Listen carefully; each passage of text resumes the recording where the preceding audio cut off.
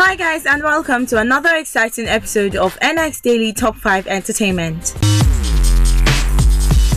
Today, on number 5, Stonebwoy has finally joined his fierce competitor Shatta Wale in the East Legion, and these two musicians will be sharing boundaries to that effect.